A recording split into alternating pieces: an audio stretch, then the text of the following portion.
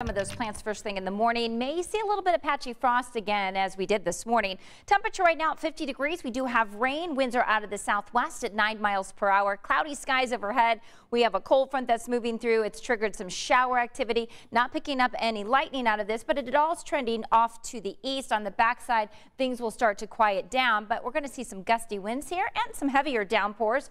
Right now, stretching from Hendricks County into Putnam County, Greencastle, Cloverdale, on up to Zionsville. Still seeing some spotty showers. Light rain now, Kokomo, Logansport into Hartford City and Delaware County seeing steady showers at this hour. Currently 46 degrees in Kokomo, 53 in Bloomington. It's 49 in Richmond. Here's a look at the gusts. We've had a gust of 24 miles per hour in Muncie, 30 in Lafayette. We are expecting to see the gusty winds continuing throughout the evening as that cold front swings through. If you do plan on going out to the Indy 11, you may have to take the rain gear as it's going to be a little bit damp out there, but temperatures will drop into the low 40s. And then during the evening hours, we'll still see that rain pushing off to the east.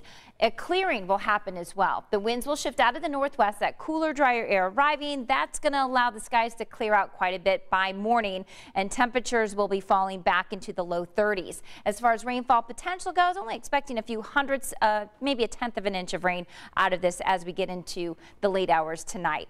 34 is the over overnight low for Indianapolis as well as Muncie, 33 in Bedford. And during the day tomorrow, a much better day. We're going to see a lot more sunshine, which we could really use, and also a bit warmer as we go into tomorrow afternoon as well. Temperatures will get into the mid 50s, and that's close to seasonal for this time of year. So we'll see temperatures around 41 degrees during that 10 o'clock hour. We'll be into the mid 50s by late afternoon under mostly sunny skies. Now we're going to get into an active pattern as we go into Sunday night into Monday. We're going to be tracking some light rain early Monday morning. Here's a look at future track. As we go into rush hour Monday morning to likely see rain on radar. This will continue until about noon and then that will move out and then really a pretty active pattern all for that first full week of April. 56 degrees will be your high for tomorrow afternoon. We'll be in the low 60s on Monday with spotty showers in the morning and then breezy and more rain on Tuesday and Wednesday with temperatures back into the low 60s.